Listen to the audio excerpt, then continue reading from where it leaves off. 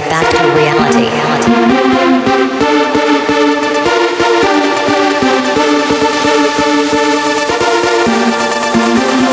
Loose control.